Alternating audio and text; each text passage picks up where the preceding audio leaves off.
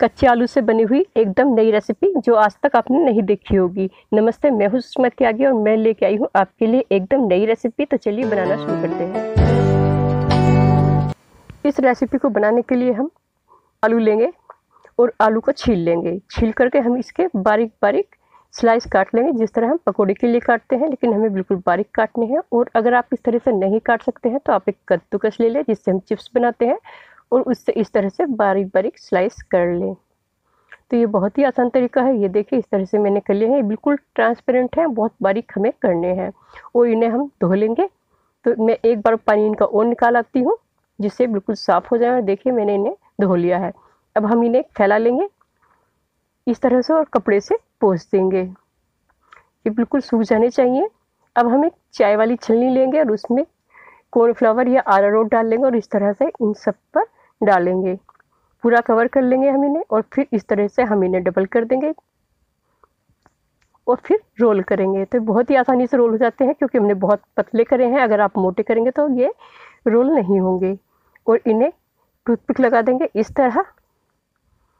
तो और मैं आपको करके दिखा देती हूँ एक और, इसे भी हम इस तरह रोल कर लेंगे। अगर आपके चिप्स आलू छोटे हैं तो आप इन्हें डबल कर ले थोड़ा सा लंबा रख लें।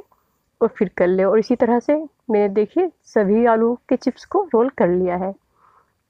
ये बहुत ही स्वादिष्ट लगते हैं। बनाने में बहुत ही आसान है, बहुत जल्दी ये सीख भी जाते हैं। अगर आपके पास टूथपिक ना हो तो इस तरह से माचिस की तिली ले लें और उसका जो मसाला है इसे तोड़ दें। मैंने आज इसी तरह से किया था क्योंकि मेरे पास आज टूथपिक नहीं थी। और एक कढ़ाई में बिल्कुल ऑयल को गर्म कर ले। तेल जो भी आप लेना चाहते हैं, बिल्कुल तेल गर्म होना चाहिए और उसमें इन्हें फ्राई कर ले। आप इन्हें डबल फ्राई भी कर सकते हैं। पहले आप इन्हें फ्राई कर ले, हल्का निकाल लें और फिर थोड़ी देर बाद फिर से फ्राई कर दें। तो ये बहुत ही अच्छे सीख जाएँगे। लगेंगे जैसे बाज़ार के लेयर हो, लेकिन का स्वाद उनसे बहुत ही ज़्यादा बेहतर है। तो इस तरह से हम इन्हें गोल्डन ब्राउन कर लेंगे और ये सीखने में बिल्कुल हल्के हो जाएँगे। आप इन्हें टच करके ही बता सकते हैं कि ये बहुत अच्छे से आपके सीख गए हैं। तो इसी तरह से हम सभी को सेक लेंगे तो मैंने सिर्फ़ ये एक आलू के ही बनाए हैं। एक आलू मैंने बचा लिया था और उसके इतने सारे ये बन गए हैं। अब जो इनकी हमने टूथपिक लगाई थी वो हम निकाल लेंगे। अब ये खुलने वाले नहीं हैं। हमने सिर्फ़ इन्हें इस तरह से गोल करने के लिए ही टूथपिक लगाई थी।